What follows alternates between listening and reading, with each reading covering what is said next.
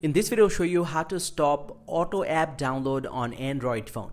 If you found that your Android phone is automatically download apps and games to your device that is really unnecessary to you, then here's how you can uh, stop them all. But before we start the video, if you're new to this channel, please give it a thumbs up and subscribe to my channel because it really helps me out.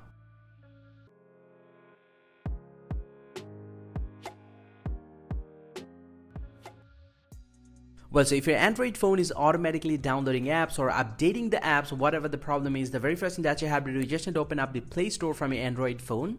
And from the Play Store homepage, you just need to tap on this profile icon at the top right. And from the profile, you just need to tap on settings here and under the settings you'll get to see the network preferences. You just need to explain this option and here it's going to show you a few different options.